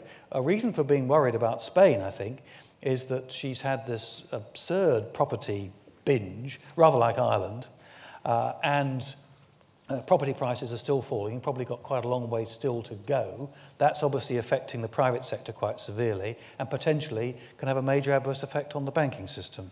So I don't think the figures are misleading, but they are very far from being the whole of the picture. Time for one more question before we move on to Jim. Stunned silence. Okay. Great. Okay, let's move on to Jim then. Um, so Jim O'Neill is uh, chairman of Goldman Sachs Asset Management. He moved over from being chief economist of Goldman Sachs uh, towards the end of last year. Apart from um, having a soft spot for Manchester United, he's best known uh, for his uh, coining the BRICS term to describe the uh, fast-growing clutch of economies, and he's going to also be talking to us about the next 11, which I'm not going to attempt to list, but presumably Jim will. Uh, thank you very much. Good morning. Uh, and thanks to the IEA uh, for inviting me here. I have to say it's, uh, it's like a throwback. It's a nice privilege to be on the same panel as these two guys. I, think, I can't remember the last time I was on a panel with Roger. It must be a good 15 years back, but it's uh, great to, to do so. Uh, and actually, I, listening to Andrew and, and giggling away at them both, I thought I'd try and highlight for you the key five things that I'm going to say in the context also of some past uh, pop music. Uh, but as you'll tell, my, my tastes aren't quite of the same quality standards as Andrew's. Uh, the first one, uh, I, in, in, the 60s and 70s, when I was uh, in my more reckless days, I was a big fan of the Four Tops. my first theme is Wake Me, Shake Me When It's All Over. I think we are living in a remarkably uh, exciting time in the true world economy. Uh, it's just that most people from the West don't really get it, partly because they're not really prepared to open their minds uh, and watch and experience it. Um, and it's because of uh, these uh, 15 countries, or, and in particular uh, the four BRICS, and one, increasingly, importantly, one or two of the others. Uh, which is really my second theme. Uh, these 15 countries are four and a half billion people. Uh, and it just happens to be the case of most of my life, and therefore most of the people in this room, that they haven't been that important for the world economy. But uh, there has been times in the past when they have, uh, which, amongst other things, makes it pretty likely that there will be a time uh, in the future that they will be again. Uh, and the in that context, another uh, Four Tops record is called I'm in a Different World, which often seems to be the case when I speak to many people in the UK about what's going on out there. Um, the third uh, record uh, in that context, very similar one actually, I can't even remember the name of the, the band, that Everybody Wants to Rule the World was a rather catchy. Tears for Fears. Everybody Wants to Rule the World. Um, eight of these countries, the four BRICS and four the next 11, are so economically important today uh, as you may have read somewhat misleadingly in some of our supposedly uh, representative and leading media, uh, I've uh, tried to redefine these countries as not emerging markets. It seems to me rather ludicrous that we're still referring to the likes of China, uh, which has taken over from Japan by some notable distance as an emerging market in the way that people have done for the 30 years that I've been in this business. It's sort of a bit silly. Uh, and it's true for a lot of them. Um, and the fourth thing in that context, I'll touch on briefly about uh, uh, Egypt and the Middle East, because Egypt is one of our next 11 countries. Uh, and then I'm thinking of that, uh, reminded by uh, another brick in the wall. Uh, if I think of uh, the remarkable things that were uh, unfolding by the day, uh, fascinated this morning waking up to see what's going on in Bahrain. Bahrain is a country uh, that I used to travel to frequently in my days at uh, Swiss Bank Corporation and to see the stories of the kind of things going on in there. This, this feels to me like a 1989 Berlin Wall moment and, and, and the amazing things involving the Soviet Union collapsing. Uh, which brings me to the fifth uh, uh, point, is that if, I think if people really, uh, as I'll try and show you, look at all these things together, uh, from an investing perspective, it is a good time to be investing in equities. And linked to uh, that kind introduction, my favourite record of all time was actually made by Manchester United, and it was called Stand Up for the Champions. And with that in mind, let me show you a few pictures. Uh, here, of all, first of all, from a global perspective uh, and the cycle, you've seen pictures from the other two. I'll throw in my two pennyworth at the start. Here is my old guys. Uh, have to be both careful, but also can take more liberties. These are the official forecasts of Goldman Sachs Economics Department, which I had the privilege of being the boss of for 15 years, but that's five months ago. And as you can, well, you probably can't see too clearly at the back. Can you, can you guys see at the back these numbers? Probably not. Yes. Oh better eyesight than I have. Um, we are bullish uh, because of these 15 countries. Uh, we expect growth to be stronger than the IMF uh, for this year and next. Uh, and in my opinion, and, and, critical to my theme, uh, I think uh, there is growing evidence that the world economy's growth trend is rising. Or as I'm fond of saying to people in this country, there is at least, there are at least half the world's population that do not sit round saying credit crisis before they have their breakfast. Might think that that's the case if you never get out of the UK, but uh, it is not at all the case in many parts of the world. Most of them sit around when they have a little bit of time to think about all of us in the West and say, what is wrong with that miserable bunch? Uh, and at the core of it is uh, the four BRIC countries. Um, And, and here I, I personally take a tiny bit of exception to uh, something that Roger said, and be certainly much more in Andrew's camp, there are importantly growing signs that the pace of this is so powerful, uh, it's actually helping lift uh, many of the economies that are struggling in the West from the crisis. And certainly, uh, my own take, as I'll show you on Germany, uh, is that you could almost argue that Germany has become a developed brick in terms of how much it is exporting to these places. Um, to, complete the, uh, to complete the sort of cyclical picture, here's uh, uh, the much currently popular discussed in financial markets, at least, inflation forecasts. Um, fascinating aspect of the post-crisis world we live in that people have to worry about something all the time. So even those people that sort of buy into the idea that maybe the world's doing a bit better economically, if that's true, then we must be on the verge of some kind of rampant inflationary disease. Uh, there is a bit of an inflation issue in some of these big countries, uh, but in uh, our, my old group's forecast, and I sympathize with this, it is almost pending what they do with their policy, and policy is being tightened quite a lot as we speak in these places, probably a temporary problem. but let me get to the, the, the meat of uh, uh, the issue. uh, here is a chart showing you uh, the likely change in the dollar value of GDP uh, in a number of places over the decade ahead. and uh, linked to the, the, the, pop tunes I mentioned, you really have to think of a world turned upside down to sort of comprehend the scale of some of the changes that are going on. Um, these numbers are part of our infamous 2050 uh, projections about the whole BRIC thing, a couple of which I'll refer to in a second. But they're driven by demographics and productivity the further you go out into the future, productivity assumptions. Uh, but looking at this decade uh, as a whole and putting it in the context of the true modern world, the growth eight, as uh, I would call them, that is the four BRICS, Brazil, Russia, India, and China, and, the, and four of the next 11, Korea, Indonesia, Turkey, and Mexico, their combined dollar GDP this decade is probably going to rise by between four and five times more than the US. Um, so, as has been the case for most of my 30 years in this business of looking uh, towards the US for growth leadership, it is no longer true and hasn't been actually for quite a few years. and it's going to become more and more uh, clear as this decade evolves. Three quarters of that uh, comes from the four BRIC countries. Half of it comes from one, China. Uh, and there is quite frankly nothing like the phenomena as China, uh, from what I can see, in anything like uh, the recent or, or distant past. You have to go back some time.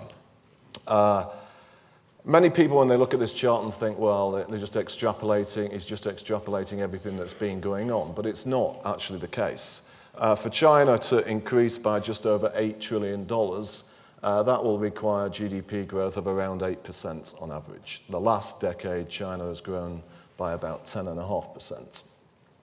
Uh, but growing by a significant amount as your base gets bigger is quite easy. Uh, to, to have a big influence. Uh, the end of last year, we've just found out China was close to $5.9 trillion, overtaking Japan. Five years quicker uh, than my and my team had thought uh, back in 2003. But if China does what the consensus is saying this year, and if it does, as is priced in the forward markets, show a modest rise against the dollar, that will result in another trillion dollars worth of GDP just from China.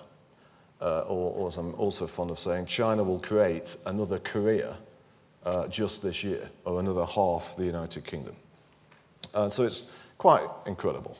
And if you go across, and the reason why I call them the growth eight, uh, of the likely 10 contributors to global GDP growth, eight of them are from the BRIC and, and 11 countries. And in the context my, uh, for where I look at the whole European issue, from a global economics perspective, it's not a big deal.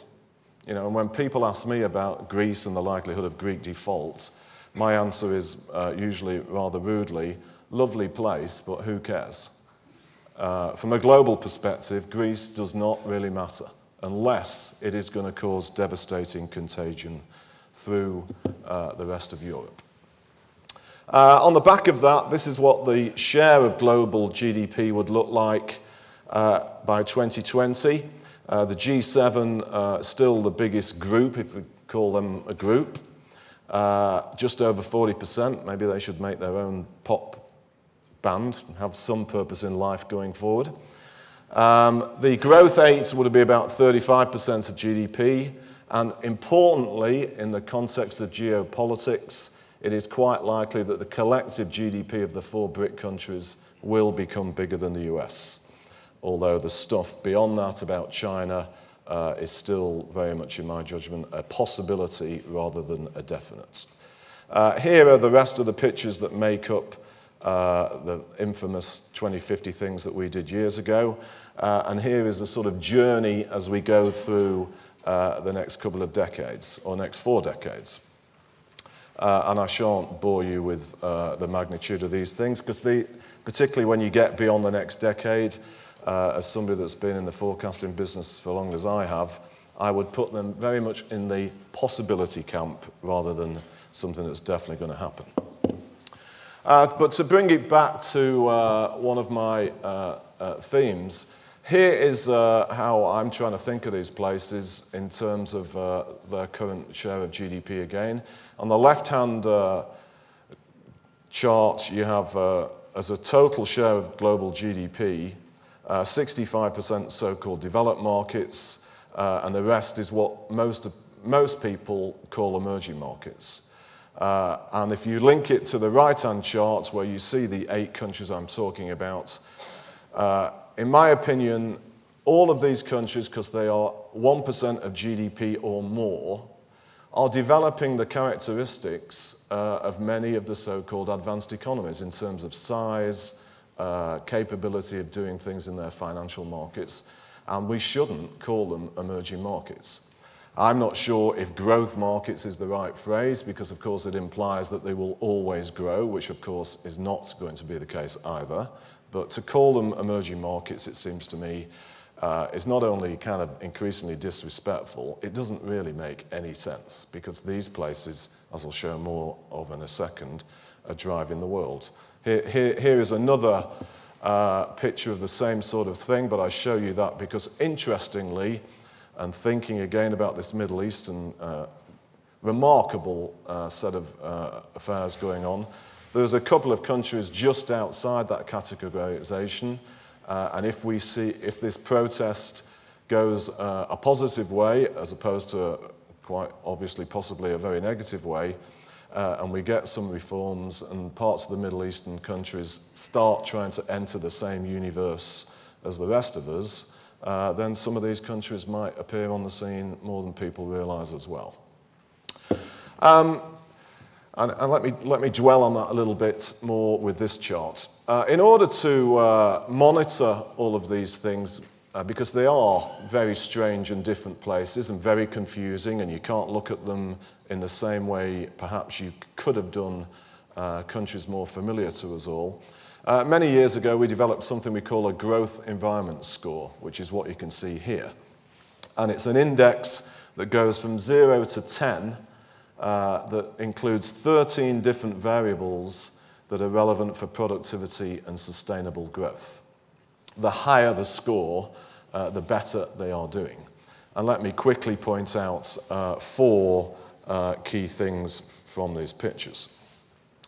Uh, the first of which is contrary to the email I get almost on the hour, by the hour every day, Russia is not the weakest of these four countries on all the things that are relevant for sustainable growth and productivity. India is. So when I get an email asking me when am I going to drop the R in BRIC, which I literally do get virtually every hour, I say, uh, sometimes if it's somebody I, I know well, I'll answer them back and say, well, only if you allow me to drop the I for India too. Uh, the, all four of the BRIC countries have to do quite a lot more to get to where their long-term potential is. Second thing to say in that context, of these 15 countries, Korea has the best growth environment score. Uh, these, are, these include six macro variables, seven micro, uh, and I'll talk more about Egypt in a second. Things like corruption, education, rule of law, uh, and a number of indicators of the use of technology. Korea's GES score is higher than every G7 country uh, except Canada. So quite how, the, the, the, the only vague justification for calling Korea a developing country is that it has this odd place called North Korea sitting on top of it. Uh, but if it weren't for that, quite why any of us still do it strikes me as nuts. Uh, but if these countries can get their GES scores to the level of Korea's, they will fulfill their potential.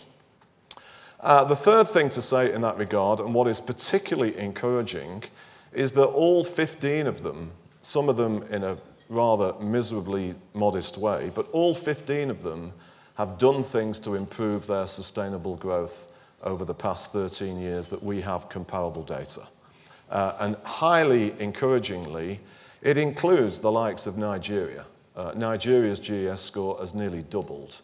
It's still at a very low level, but it's nearly doubled. In that context, the fourth thing to say is Egypt. Uh, if you look carefully, you'll see the, the red shading is the improvement over the past 13 years. Egypt's uh, one of the lowest scoring places and the one with the least uh, improvements, or second least. And in that context, uh, that's how I sort of look at this crisis. It's sort of not surprising that you're seeing such a people's revolution because linked to some of the things that are in these GES scores, Egypt's people, where they have access to everything that we have by using the internet and mobile telephones, they want a better life.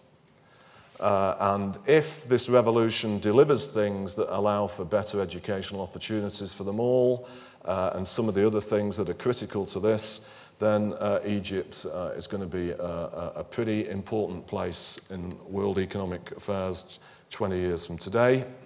And, uh, and this is the bit which is so intriguing as we watch another country getting dragged into it by the day, for the whole of the Middle East and North African region, they could collectively have the impact uh, of one of the four BRICS. um, at the core of all of this is, of course, China. I thought I'd show you this quickly. uh, for the past 13 years, we've had our own, as we do for many places, our own proprietary indicators for following them. Uh, I often joke to people, saying this is at a, a UK, uh, obviously heavy conference.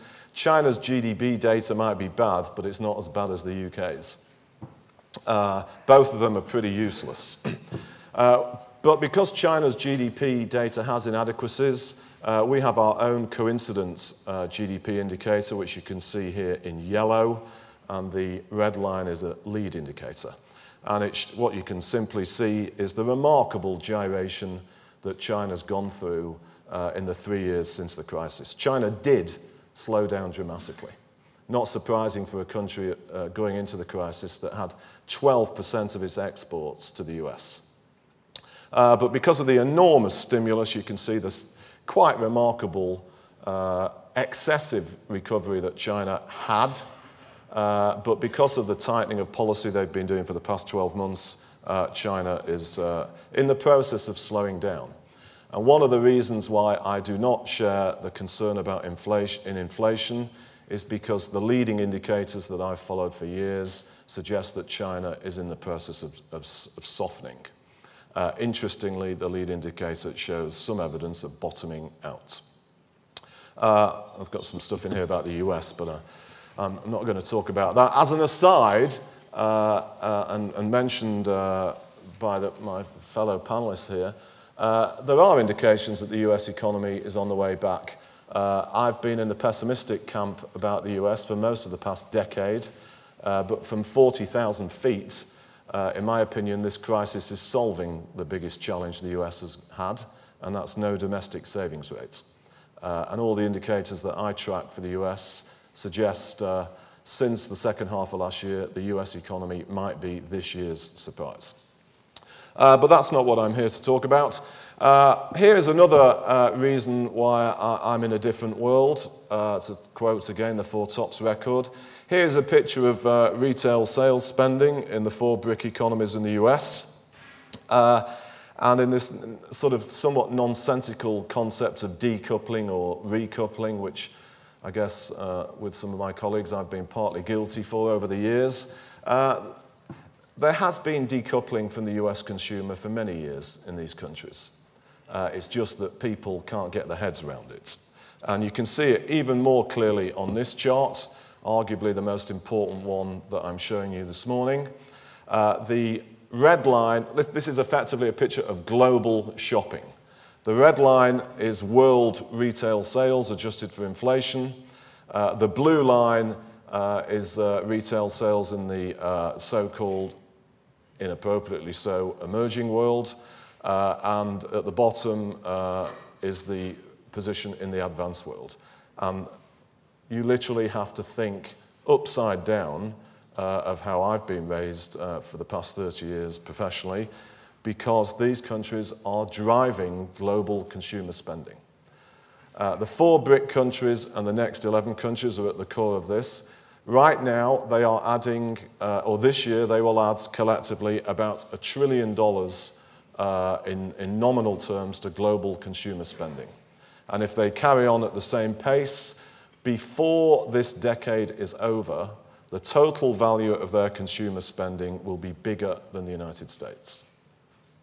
Uh, as anybody involved, well, if any of you here are involved in uh, particularly a branded goods uh, consumer company, you would know that that is the case. If you are and you don't, then your company needs to find something different to do. Uh, a couple of other things about China, uh, uh, particularly ahead of the G7 finance ministers this meeting. It is very politically popular uh, for politicians, especially in Washington, but also a number of parts of Europe, when they're not having a bash at banks, they decide they'll have a bash at China. Uh, but China, as this chart shows, uh, imports a significantly higher share of its GDP than the US. Last uh, Monday, sorry, Monday of this week, we got the January trade data, uh, and uh, China, as with many Asian countries, reports its trade data pretty quickly. Uh, uh but uh, what was already evident at the end of last year, for the data for the whole of last year, China's imports increased by $400 billion last year. China imported two Egypts in one year, or the quarter of an India. Uh, and on the current pace, uh, Chinese total imports at $1.4 trillion could actually be bigger than the US uh, in another five years. So the idea that China's growing at everybody else's expense uh, is as outdated, uh, not quite as outdated as the Four Tops, but certainly uh, a very outdated idea. And, and, one of the questions that somebody from the floor asked, uh, ironically, I have a picture of it here in my charts because one of the most interesting and complicated things I've seen for years is this. Uh, it is quite remarkable. Here is a picture of German exports over the past three years. And German exports to China are literally booming and maintained at anything close to the current pace and a huge complication for EMU, in my opinion, is another 18 months' time, possibly less, German trade with China will be bigger than German trade with France. And any of you that go and visit German Mittelstand companies or, or the big guys in Munich, you would walk out of there thinking that what's going on in China is a lot more important for Germany than anything going on in Europe, so long as Germany doesn't have to spend too much money on the rest. Uh, and so to finish off with, I'll leave you with this chart, which is my stand up for the champions one. Um, in terms of approaching uh, investments, uh, especially in my, my new life as chairman of GSAM, uh, I, I, adopt a rather simple uh, approach, which I call the equity risk premium approach, uh, in which it assumes that the, the key guide to equities is where the equity risk premium is today compared to the past, and of course where it might go in the future. Uh, but it, uh, it, it, assumes, and I'm a strong believer in this based on some research I've been involved in and, and others have done, uh, that the best guide to equities, both relatively and absolutely on a five-year basis, is today's equity risk premium. And the higher it is compared to the past, uh, the more likely it will come down and equities will do well. And the lower it is, the more likely it will go up and equities will do poorly. Three things to, to point out. Uh, if you look at uh, down the left-hand column, and here I use trend GDP growth as a proxy for trend earnings, uh, because of the four BRIC countries, global GDP growth is probably trending higher than most people realize. The past 25 year, uh, years on a PPP basis, the world has grown by about 3.7. Because these countries are now important, 25 years ago they were not, if you do the simple calculations, it suggests the world economy's growth trend is close to 4.5%. And that's why many multinational companies that are exposed to these countries uh, frequently find themselves delivering positive earnings surprises. And it might be, linking into some of the things Andrew uh, was mentioning, it might well be why some of them that are in the UK think they have pricing power. Um, the second uh, interesting thing about this is it, particularly because of the caution of many Western central banks, not just the Bank of England, many others. Uh, of course, real bond yields, uh, despite this dreaded sovereign crisis that everybody worries about all day long, uh, despite that, real bond yields are very low compared to their own past, and certainly much lower than trend GDP uh, which means that today's equity risk premium is particularly high. uh, and suggests to me uh, that because of the BRIC and uh, other growth economies, global equity markets are going to continue to surprise people and keep rallying. And with that, I shall stop. Thank you very much.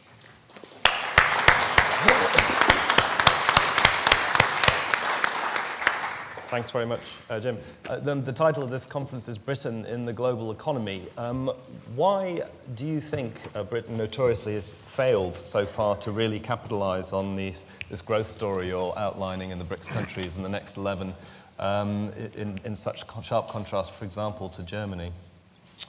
Um, I have to be careful what I say here because the media's around, isn't it? Uh, I guess I'd say three things about it. Uh, actually, but as an aside, this rather populist uh, notion that, that was in the media, encouraged by the government, I guess, when they were supporting Ireland, it isn't actually true that we export more to Ireland than the BRICS. It was, but even for the UK, the pace of our export growth uh, by our own poor standards is such that when we get the full data for last year, which of course, an, another set of data which isn't particularly accurate in the UK, uh, it, it, will show that the UK does export more to the, to the BRIC countries than Ireland. Um, but I think there's, there's maybe three reasons. Um, the early beneficiaries uh, primarily of, of this uh, are more likely to be uh, those that excel in manufacturing, uh, which is why Germany, uh, in my judgment, benefits from it more than anybody else. Um, and the UK, as we all know, doesn't have the same depth uh, in manufacturing as the likes of Germany. Uh, and so that's the, ma the main reason. Uh, secondly, uh, and this is why policy in the UK has to be so careful, uh, because of the mess that we've gone through, and my, my industry has been obviously greatly uh, complicit in, it is currently fashionable to try and destroy some of the things that we have a natural edge in. and uh, I suspect that even despite that, uh, going forward, uh, financial services uh, could be an even bigger share of UK GDP. Certainly, overall services could be. Uh, the English language, the time zone, uh, and knowledge stuff will be increasingly what all these places want as they get wealthier. and so the UK particularly, uh, you know, I often think of London as, a, as, a, as the BRIC capital of the world.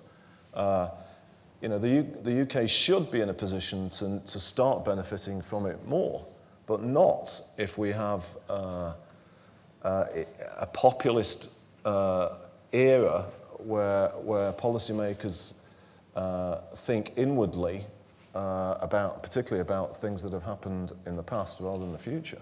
And I, I think that is absolutely key. Uh, and I think the third factor, which is the flip side of, of much of Andrew's concern about inflation, is uh, uh, before the crisis, I think you could argue that on a competitive basis, the pound had been significantly overvalued.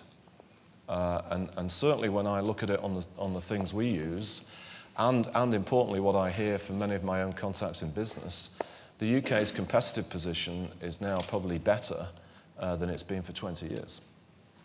So I think the three things together.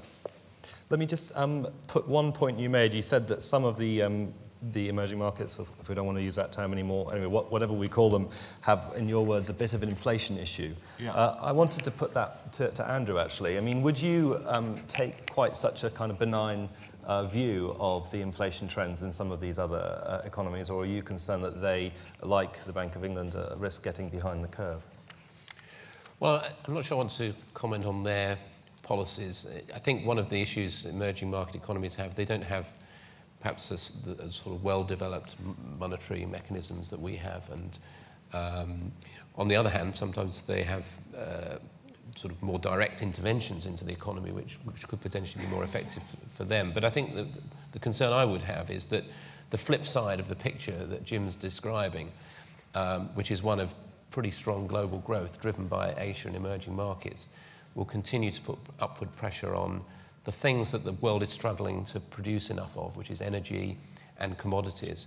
And I think Jim's comment on the pricing climate was interesting. We'll continue to create in, in manufacturing industry and the goods sector a fairly benign pricing climate for companies who are you know, reasonably competitive and switched on to the international economy. Um, now, we have a lot of UK companies operating in the UK. They may not be UK-based companies, but they are uh, international companies, and therefore our pricing climate is affected by what's going on internationally. Um, so I, I actually um, very much agree with Jim's analysis on the demand side. My worry would be, you know, the, the flip side of that for global inflation, and then what that means for what um, more mature industrialized economies like the UK should do about it uh, is, a, is going to be quite a dilemma. I mean, I mean just, one, just yeah. one quick thing. I mean, I could talk a lot about that, but well, an irony of this is, uh, as it relates to China at least, which is so much at the core of it.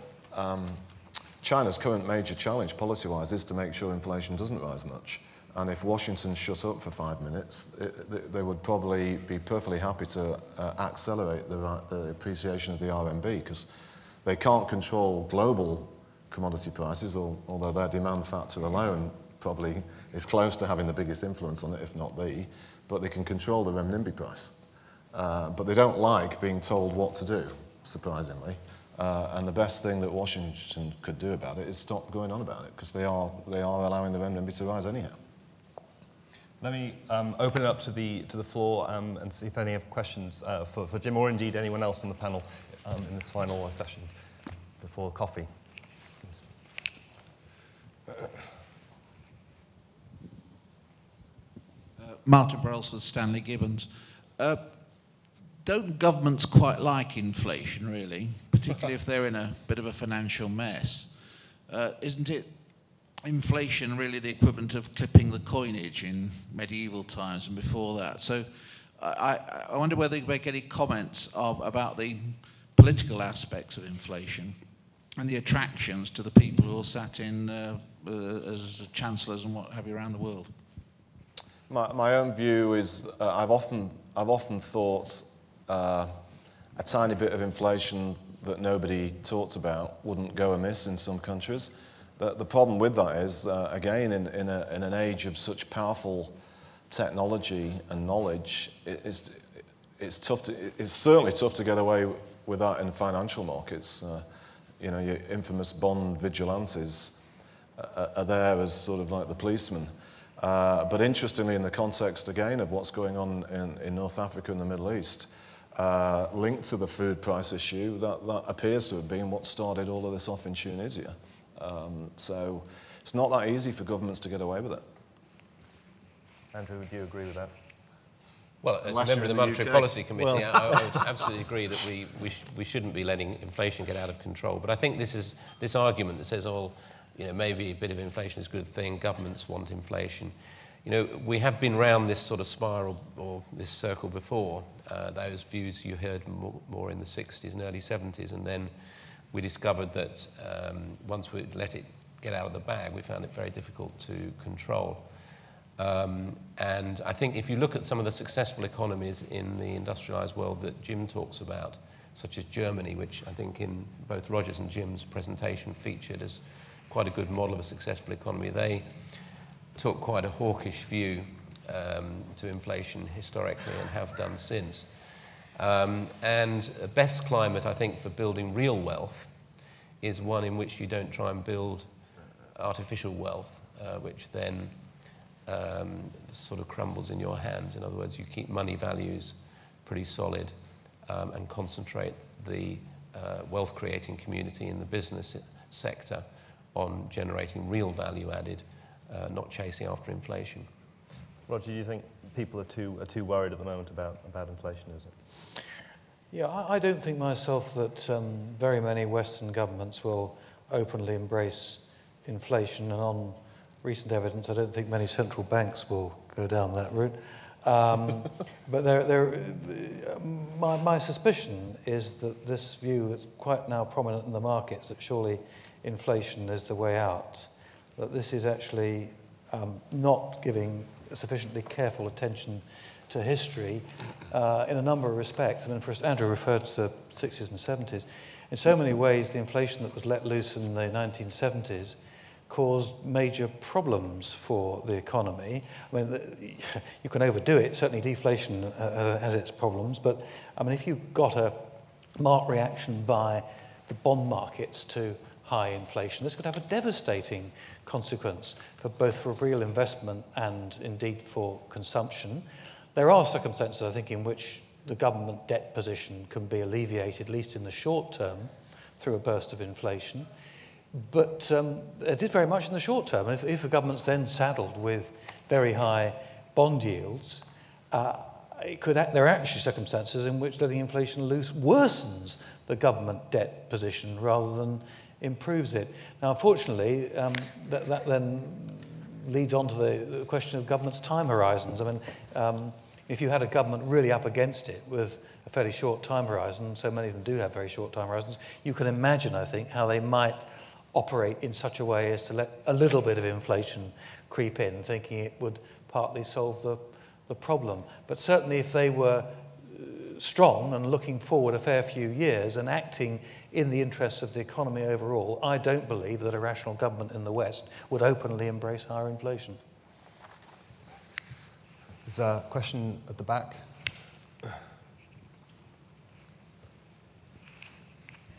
Hi, it's uh, James Shoker from uh, Westpac.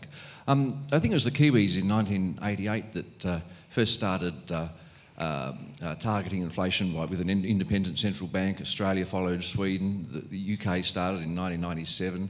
Um, so it's really only a fairly recent phenomenon, you know, targeting monetary aggregates and current account deficits and so on used to be the norm in, in the 70s and 80s in various jurisdictions.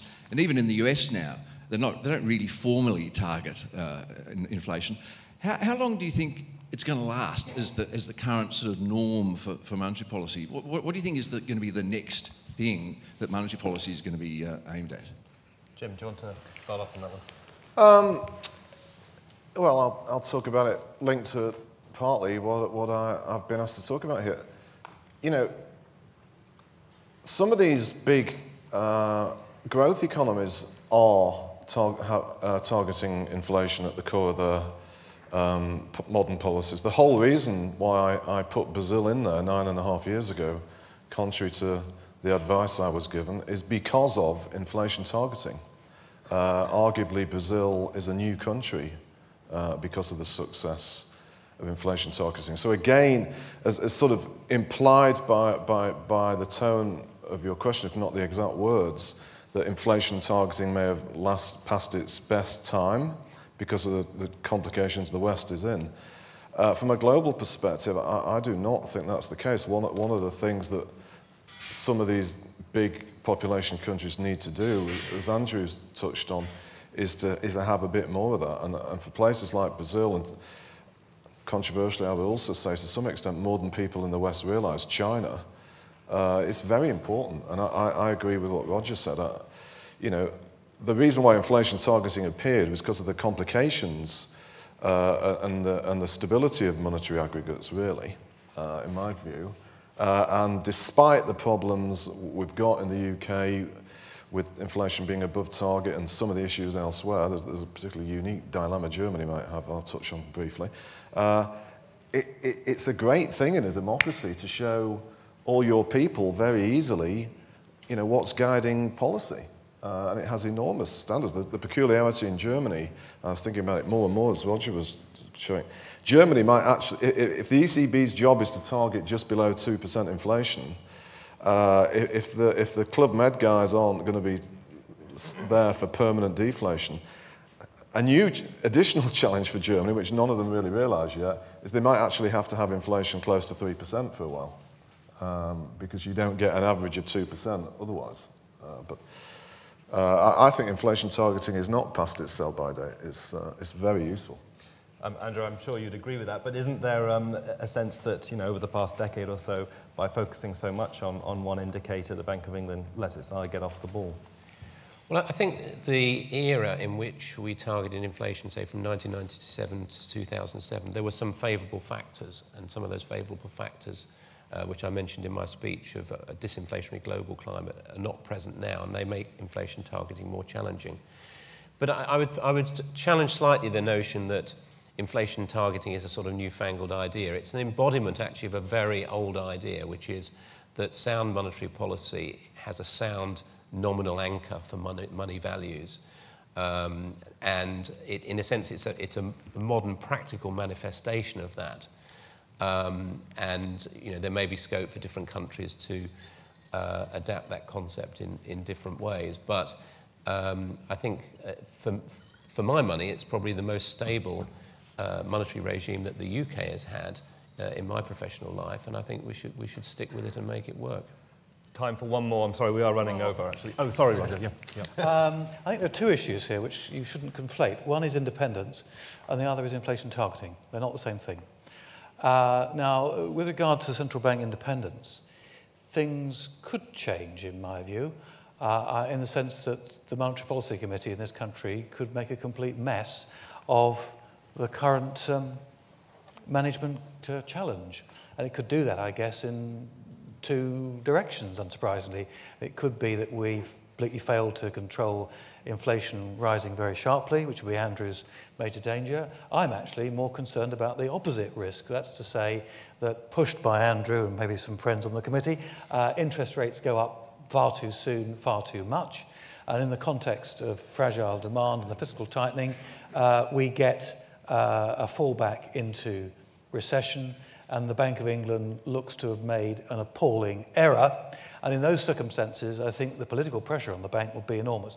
Now, there are real deficiencies. There's no, nothing easy about setting monetary policy. But if one looks back at the record in this country, I think you have to say, it's a bit like Churchill said about, about democracy, it's the worst system of government ever invented apart from all the others. Now, I well remember an occasion when on his way to India, John Major uh, heard that a Conservative MP had died, thought to have committed suicide or uh, some unfortunate accident, which I won't go into, and there was a great scandal about um, what had happened.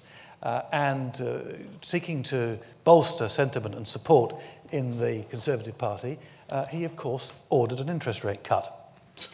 Uh, now, in my early Uh, years in the city trying to forecast interest rates, and I've been doing that throughout the whole of my career. Um, a pretty good way of doing it under the Lawson period was to mark in a cut uh, in budget week, would be March, and another one in October, uh, which was the week of the Conservative Party conference. This mixed double uh, paid fantastic rewards at the time.